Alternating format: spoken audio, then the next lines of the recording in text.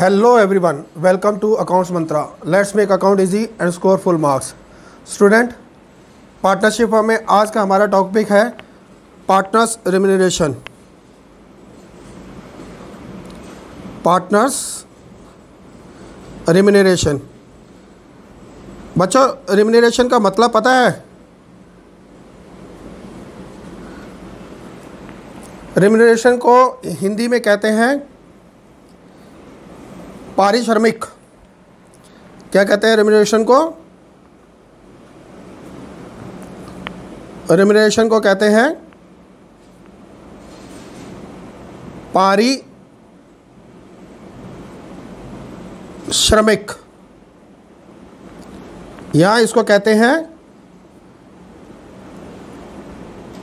मेहनताना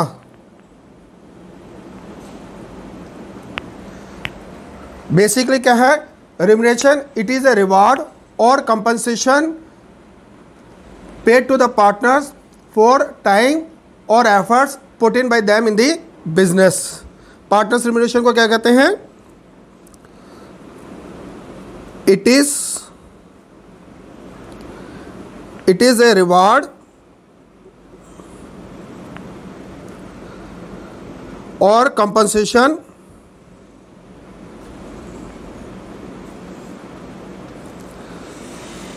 paid to the partner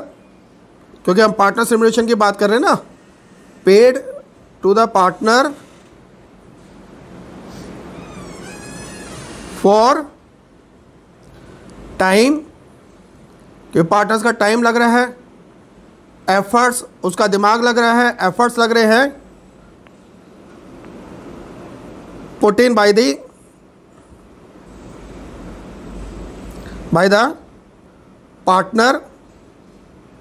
in business ठीक है स्टूडेंट अब बात आती है कि ये रिमरेशन है पार्टनर्स को किस फॉर्म के अंदर पे किया जाता है तो पार्टनर्स को जो रिमरेशन है उसकी पेमेंट होती है नंबर एक सैलरी के फॉर्म में जिसे हम पार्टनर सैलरी कहते हैं जो मैंने पीछे वीडियोस के अंदर दिखाया था हमने देखा था ना profit and loss appropriation account के अंदर हम लोग पार्टनर सैलरी अकाउंट डालते थे दूसरा जो होता है वो है कमीशन के बेसिस में कमीशन की फॉर्म के अंदर भी पार्टनर्स को रिम्यूनरेट किया जाता है तो बच्चों आप ये समझ लो सैलरी जो है सैलरी का क्या है it is it is paid to the partner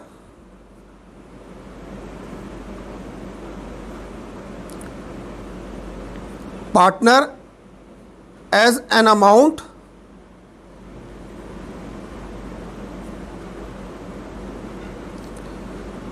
either in lump sum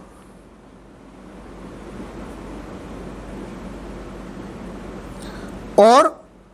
on monthly basis और ऑन मंथली बेसिस जैसे कह सकते हैं हम लोग एक छोटा सा एग्जांपल लें से partner A will be paid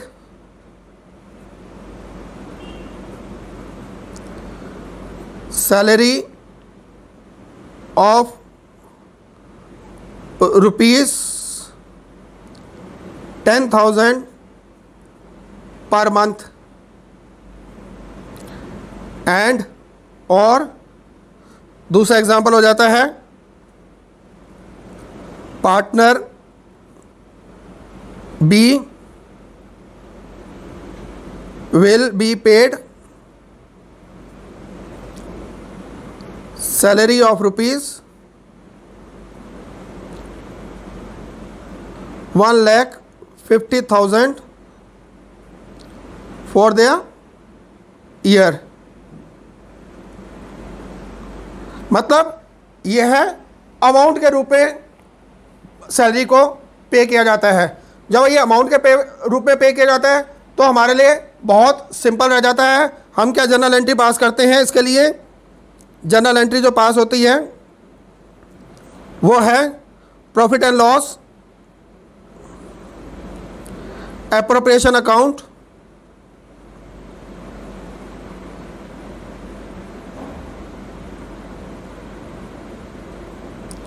account debit to partner salary account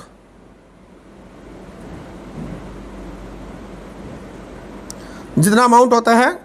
वो हम लोग यहाँ पे लिख देते हैं और आपने देखा होगा profit and loss appropriation account में हम लोग डेबिट साइड के ऊपर पार्टनर्स सैलरी जो देते हैं अब एक इम्पोर्टेंट पार्ट आता है वो है जो मैंने सेकंड आपको बताया जो पेमेंट है कमीशन है पेमेंट ऑफ कमीशन अब इसको आप लिख लीजिए कि कमीशन कैसे है मैंने बताया कमीशन एज ए परसेंटेज देना दी जाती है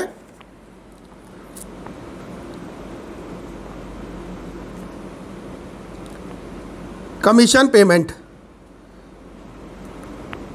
कमीशन पेमेंट कैसे दी जाती है as a percentage paid as a percentage of paid as percentage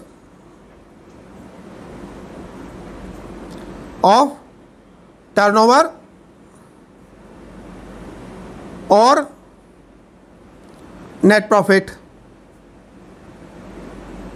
तो स्टूडेंट जहाँ टर्नओवर की बात आती है वहाँ तो हमें कोई प्रॉब्लम नहीं है वहाँ तो हम लोग टर्नओवर का सीधा परसेंटेज कैलकुलेट कर लेते हैं और उतनी सैलरी हम लोग उतना कमीशन हम लोग पार्टनर्स को पे कर देते हैं और जनरल एंट्री उसी टाइप से पास कर लेते हैं profit and loss appropriation account debited to partners commission account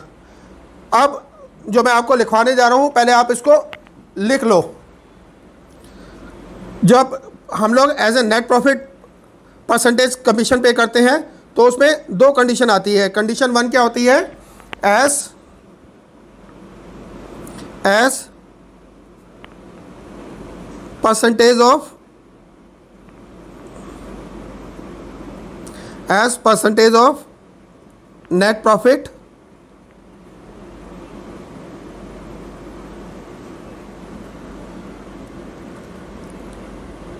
और नेट प्रॉफिट और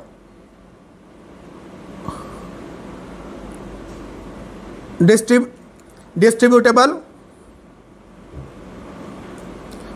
और distributable distributable profit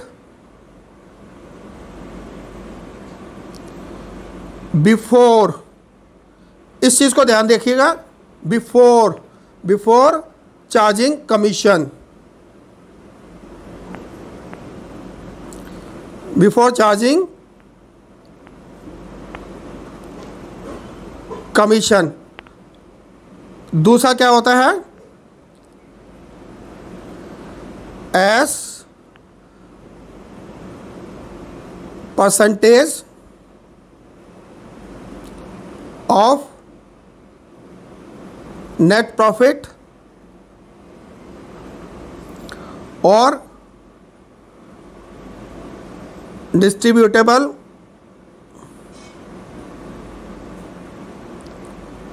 profit after charging commission after charging commission ये दो अलग अलग सिनेरियो है पहले क्या था उसमें उसमें पहले में था बिफोर और इसमें है आफ्टर चार्जिंग कमीशन तो आपको पता है जब हम लोग परसेंटेज में कोई चीज़ कैलकुलेट करते हैं तो हम एक फार्मूला लगाते हैं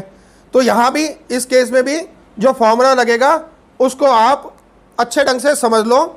क्योंकि ये फार्मूला हमारे बहुत काम आएगा क्वेश्चन को सॉल्व करने में है पहले जो कंडीशन है जिसके अंदर है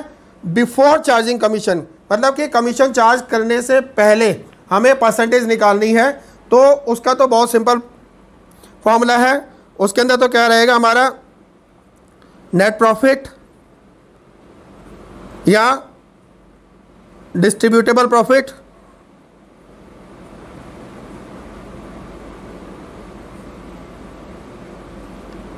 profit into percentage of commission और rate of commission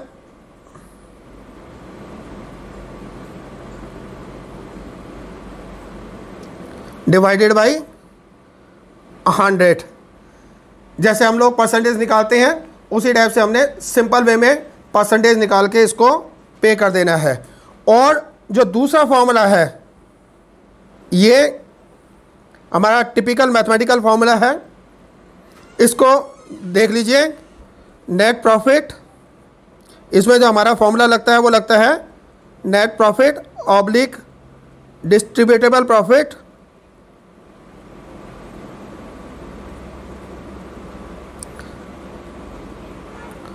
into rate of commission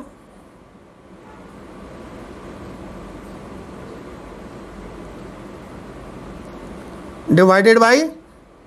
hundred plus rate of commission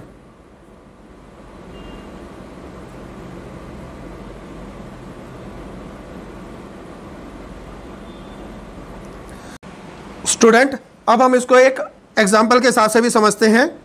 ये मैं आपके सामने एक एग्ज़ाम्पल ले रहा हूँ एग्ज़ाम्पल क्या है एग्ज़ाम्पल है A and B are A and B are partner of a firm AB. Net profit of the firm is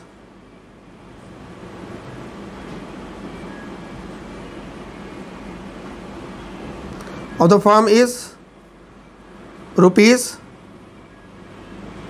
80,000. A to get salary of rupees 6000 and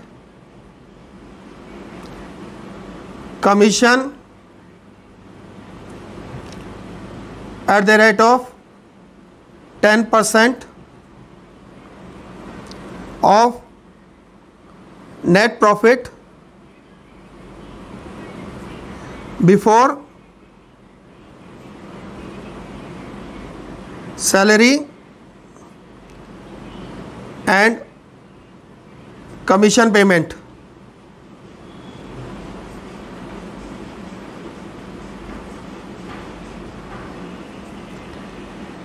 partner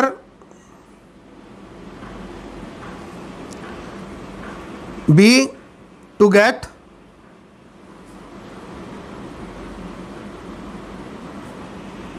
commission of ten percent after payment of all commissions and salary student पहले हम लोग इस question को सही से समझ लें इसमें बेसिकली क्या है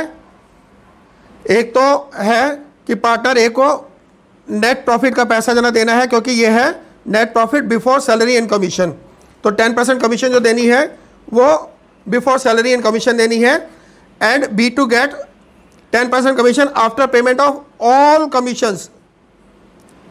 after payment of all commissions all commissions means means A की कमीशन भी प्लस बी की कमीशन भी ये ध्यान रख लेना है तो दोनों की कमीशन पे करने के बाद जो अमाउंट है उसका टेन परसेंट देना देना है तो हम इसे सॉल्व करते हैं हमारे पास क्या है नेट प्रॉफिट नेट प्रॉफिट कितना है रुपीज़ एटी थाउजेंड ठीक है उसके बाद हमारे पास हमने देखना है remuneration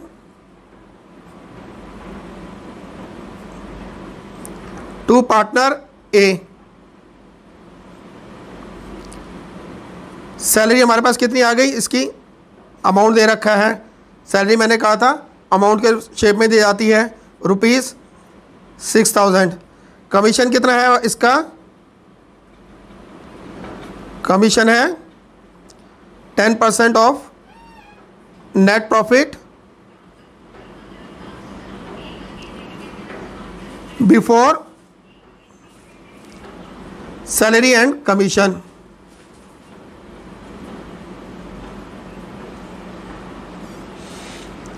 तो इसका सिंपल फॉर्मूला क्या हो गया ये is equal to ten percent of rupees eighty thousand क्या हो जाएगा equal to eighty thousand into ten by hundred is equal to rupees eight thousand अब हम लोग निकालते हैं remuneration to partner B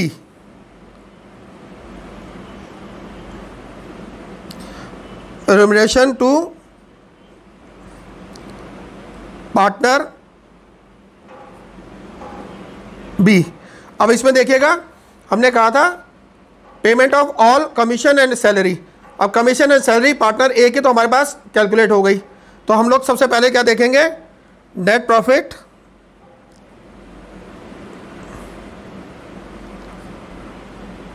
after salary and commission to partner A हमारे पास कितने रह जाएगा इसके बाद इसका मतलब क्या है equal to rupees eighty thousand minus rupees six thousand salary जो है पार्टनर ए की माइनस रुपीज़ एट थाउजेंड जो कि कमीशन है पार्टनर ए का कितने पास हमारे पास अमाउंट रह गया इसका मतलब जो डिस्ट्रीब्यूट करना है हमने जिसके परसेंटेज बेसिस हमने डिस्ट्रीब्यूट करनी है पार्टनर बी को ये कितना रह गया हमारे पास rupees sixty six thousand rupees sixty six thousand अब क्योंकि ये after payment of all commissions हैं तो हमारे पास फॉर्मूला क्या लगेगा तो हमारे पास फॉर्मूला क्या आ जाएगा हम लोग एक बार दोबारा उस फॉर्मूले को लिखते हैं is equal to net profit या डिस्ट्रीब्यूटर पर प्रॉफिट हो गया ना अब हमारे पास ये distributable profit profit into rate of commission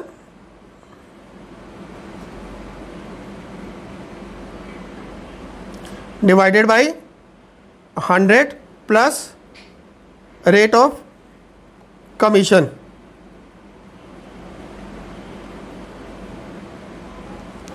तो कितना हो जाएगा इज इक्वल टू कितना आ गया हमारे पास sixty six thousand into ten divided by hundred plus ten equal to sixty six thousand into ten divided by hundred and ten तो कितना हो गया हमारे पास रुपीज़ सिक्स थाउजेंड कैसे आ गया ये एक जीरो चला गया सिक्सटी इलेवन जो सिक्सटी सिक्स के हिसाब से जाएगा तो ये हमारे पास रह जाएगा सिक्स थाउजेंड तो रुपीज़ सिक्स थाउजेंड हमें कमीशन देखते हैं अगर हम लोग चेक करना चाहें तो हम लोग ये भी देख सकते हैं कि सिक्सटी सिक्स थाउजेंड में से सिक्स थाउजेंड माइनस रहेंगे तो क्या आ जाएगा सिक्सटी थाउजेंड सिक्सटी थाउजेंड का मतलब ये हो गया कि सिक्सटी थाउजेंड का टेन परसेंट पार्टनर बी को कमीशन देना है और आपको पता है सिक्सटी थाउजेंड का ten percent six thousand rupees आ जाता है ठीक है स्टूडेंट अब हम आगे चलेंगे स्टूडेंट अब हम आते हैं अपनी टिप्स की तरफ जो हमें दिलाएगी 100 परसेंट मार्क्स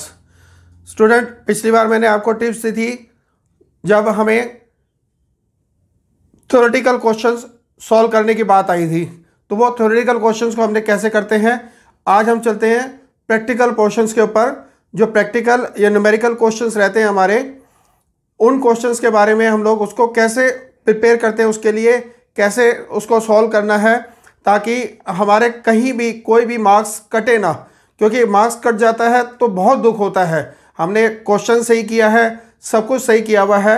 लेकिन फिर भी हमारे मार्क्स कट जाते हैं तो उसका सबसे बड़ा रीज़न ये होता है कि हमारा प्रेजेंटेशन जो है वो हमारा प्रेजेंटेशन ठीक नहीं होता तो इसलिए हमें ध्यान रखना है कि हमारा प्रेजेंटेशन बिल्कुल परफेक्ट हो जैसे मैं आपको एक एग्जांपल देता हूँ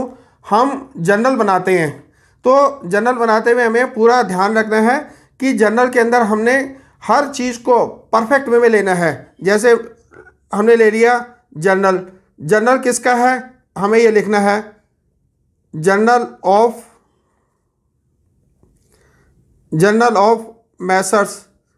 जैसे नाम आ जाएगा उसका उसके बाद हमने जो फॉर्मेट बनाना है जर्नल का वो फॉर्मेट हमें बहुत सही ढंग से बनाना है ये ज़रूरी नहीं है कि हमारी स्केल से लाइन में पूरी प्रॉपर वे में खींची हुई हो लेकिन उसके कंटेंट्स जो हैं वो कंटेंट्स हमारे पूरे ठीक होने चाहिए जैसे जनरल में हमें पता है सबसे पहले क्या आती है डेट हमें डेट लिखनी है उसके बाद पर्टिकुलर्स पर्टिकुलर्स पर्टिकुलर्स के बाद लेजर फोलियो ये लेजर फोलियो अब जब हम लोग कंप्यूटराइज अकाउंट मेंटेन करते हैं वहाँ ज़रूरत नहीं होती है लेकिन ये फॉर्मेट का पार्ट है तो ये फॉर्मेट का पार्ट उसके अंदर ज़रूर दें उसके बाद डेबिट रुपीस उसके बाद क्रेडिट रुपीस ये फॉर्मेट जो है हमारा जनरल का ये हमारा एक परफेक्ट फॉर्मेट है इस परफेक्ट फॉर्मेट के अंदर ही हमें जर्नल को मेंटेन करना चाहिए और उसी के हिसाब से हमें एंट्री बनानी है और एंट्री बना के हमें अकॉर्डिंगली इसके अंदर डेबिट क्रेडिट का अमाउंट लिखना है जैसे हम लोग लिख रहे हैं एंट्री मार्च थर्टी फर्स्ट की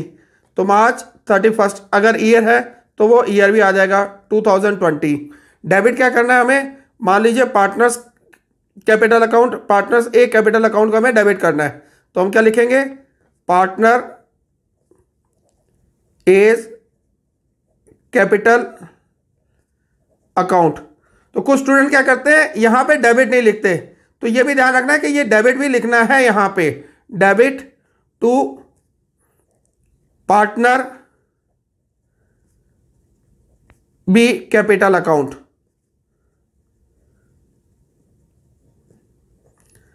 जो अमाउंट है वो हमें अमाउंट भी प्रॉपर वे में लिखना है जैसे अमाउंट है थर्टी थाउजेंड रुपीज़ तो हमें थर्टी थाउजेंड को प्रॉपर वे में लिखना है three zero zero zero zero thirty thousand rupees proper way में लिखना है केवल थर्टी थाउजेंड को कोई ऐसा नहीं कि कोई ऐसा लिख देते हैं थर्टी थाउजेंड ऐसे नहीं हमें जो प्रॉपर है इसके अंदर कोमा लगा के अमाउंट को लिखने का वो जो सही तरीका है उस सही तरीके के हिसाब से ही लिखना है दूसरा आ जाता है हमारा प्रेजेंटेशन जो प्रेजेंटेशन है वो लेजर अकाउंट का है ये तो हमने जनरल का देखा अब लेजर अकाउंट का मैं प्रेजेंटेशन बताता हूँ लेजर अकाउंट के प्रेजेंटेशन में भी कई बार कुछ गलतियाँ हम लोग छोड़ देते हैं तो लेजर को देखिए जैसे मान लीजिए हम लोग लेते हैं profit and loss appropriation account उसका लेजर बना रहे हैं profit and loss appropriation account अब इस अकाउंट के अंदर हम लोग जो प्रेजेंट कर रहे हैं तो वो कैसे कर रहे हैं अब देखिएगा हमारा इसी टाइप से बनता है ना इसको दो पार्ट में डिवाइड किया क्या रहता है उसके अंदर हमारे पास particulars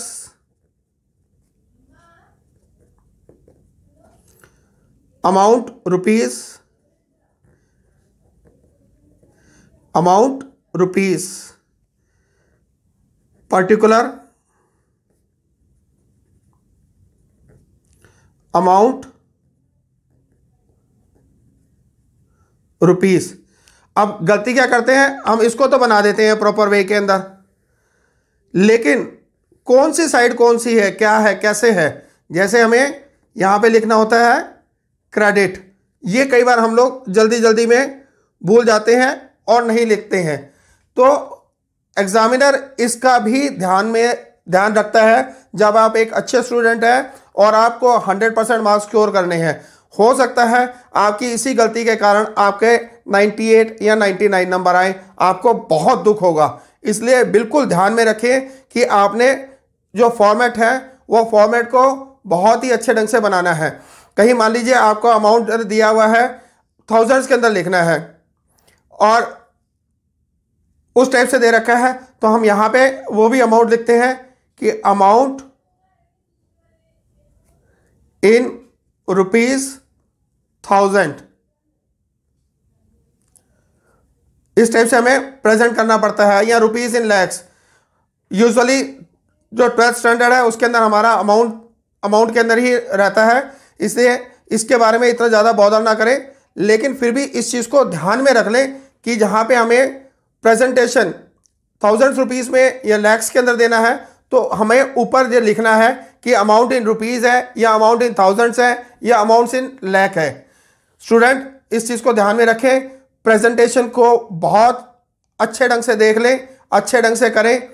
और एक चीज़ और मैं इस चीज़ के अंदर बताऊंगा कि हम जब भी इसको अकाउंट को लेजर को बना रहे हैं तो उसमें हमें अमाउंट के नीचे प्रॉपर वे में अमाउंट लिखना है जैसे मैं ये कहता हूँ कि बाई इसमें लिखता हूं by net profit transfer net profit transfer लिखा मैंने अब ट्रांसफ़र किया हमने चार लाख पचास हज़ार रुपये का four lakh fifty thousand rupees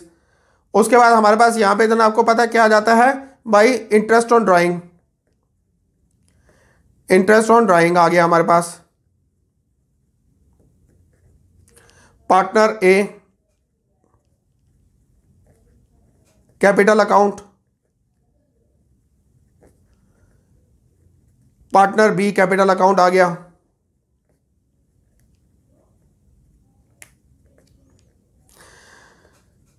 अब ये अमाउंट है हमारा छोटा अमाउंट है से फाइव थाउजेंड रुपीज़ है पार्टनर ए का तो हमें ध्यान रखना है कि जो ये जीरो है इसके नीचे ही फाइव थाउजेंड आना चाहिए फाइव थाउजेंड इसको अगर हमने गलत ढंग से लिख दिया आगे लिख दिया जैसे हम पार्टनर बी का छः हज़ार रुपये लिखते हैं अगर छः हज़ार रुपये मैं यहाँ से शुरू करता हूँ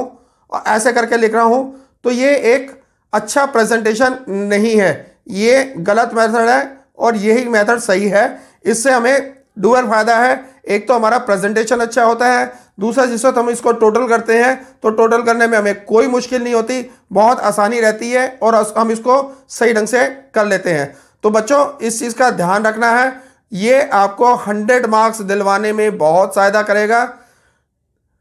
और लास्ट में मेरी आपसे एक रिक्वेस्ट है कि आप मेरे वीडियोस को लाइक सब्सक्राइब और शेयर कर दें थैंक यू वेरी मच